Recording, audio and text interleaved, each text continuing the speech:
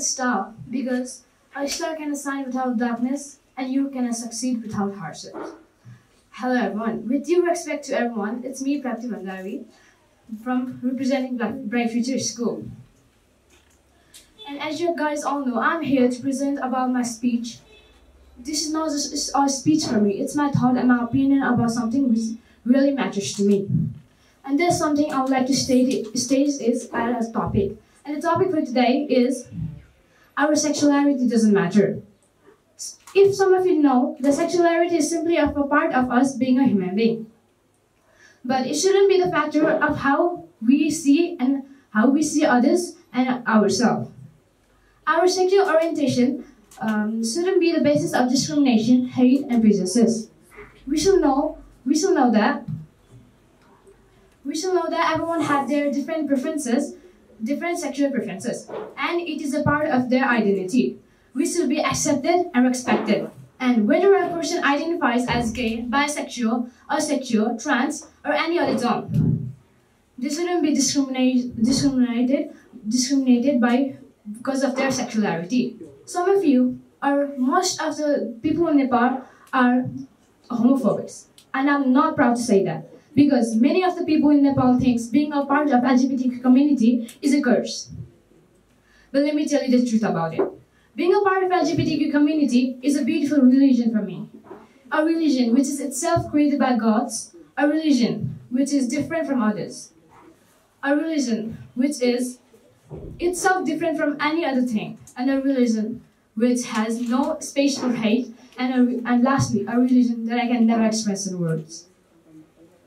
But unfortunately, our society has a long history of treating people differently, di differently because of their sexuality. Individuals are getting harassed, bullied, bullied, and they are, they are getting bullied, harassed because based on their sexuality, which is totally unacceptable.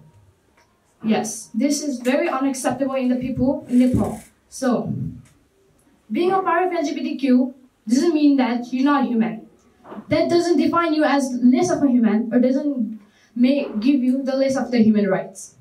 It is totally, totally okay to be born of the LGBTQ community. They have done nothing wrong to us. They have not harmed us. They have not done nothing, no, nothing to us. For example, do you have red blood? So as they.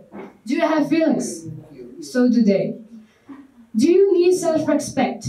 So do they. So, just because of their unique sexuality doesn't mean that we can discriminate them against their own rights. And loud and proud to say that I am very glad that I'm part of a human being, part of the race that is that is very supportive to us and supportive to us every culture and religion and every sexuality. But for me, I'm very disappointed with the Nepali people. Yes. Most of most of the Nepali people are homophobics. Let me tell you what is homophobic. What is homophobic means. Homophobics are the people who doesn't support or hate the LGBTQ society or doesn't support the unique sexuality of them.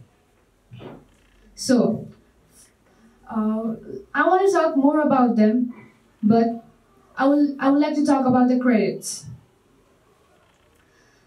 The 20% of the credits goes to ChatGPT for giving me some points to the speech. And for the, for the rest, 80%, I would like to thank myself who wanted to do something better and unique for the awareness of the different sexuality. And I would like to stop my speech right here. But before I leave the stage with honor, I would like to give a last message. Our sexuality doesn't matter. Thank you.